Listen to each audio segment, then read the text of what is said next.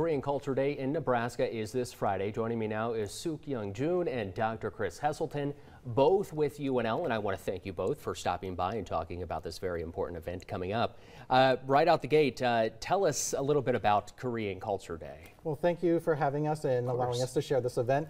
Um, yeah, so I, we just wanted to let the Lincoln community know that uh, this Friday, the Korean Culture Center of Los Angeles, with uh, the Global Experience Office at UNL, will be holding the first ever Korean Culture Day. Um, this will be a unique uh, hands-on event uh, that anyone uh, in the community uh, is free to come to. Uh, anyone who is interested in learning more about Korean culture and experiencing and learning more about it is welcome to come. So it's going to be held uh, this Friday on October 20th at 1 o'clock p.m. at Carolyn Pope Edwards Hall um, at UNL City campus. Um, so this is just a great opportunity for people in the Lincoln community to really learn and experience Korean culture. Going right off that, what kind of experiences will people be able to uh, explore?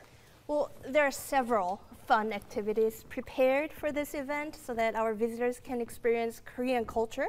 Um, we will have a taekwondo team from Omaha. They'll do demonstration and they'll throw on workshops so that our visitors can learn um, some taekwondo moves or how to kick with taekwondo spirit.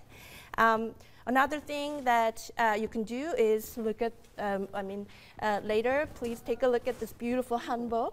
Um, this is a sample hanbok that I could find in Lincoln, but on that day, uh, Korean Culture Center of LA, they're going to bring a high quality um, traditional clothes uh, that um, King of Joseon period used to wear. Like we're seeing here in this video. Yes, absolutely. Yes, there you go. Uh, those uh, king and queen traditional clothes. You can dress like the chief of police officer in that era, and um, you can also wear uh, something like a scholar, uh, and uh, you can take a picture, and it's going to be a lot of fun. There will be Korean snack. I don't yeah, we see all these snacks here. Tell us about the food. Yes. So um, we, um, we are going to bring in a lot of different types of snacks so that our visitors can try um, these delicious snacks for free. And so yes, please bring your friends and family members. It's going to be a lot of fun.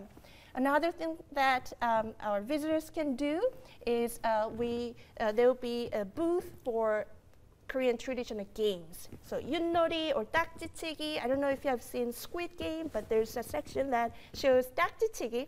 Uh, so you can play those games.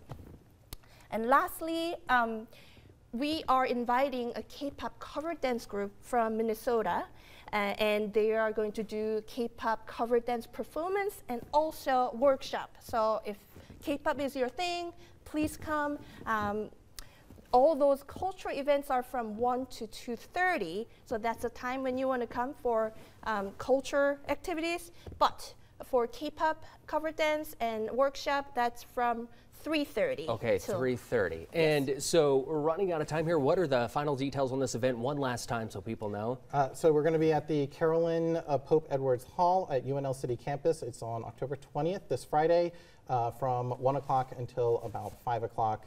Um, and the one tricky thing is parking, so um, just be sure to uh, research where you're going to park beforehand. Absolutely. So many great experiences. Thank you both for stopping by today.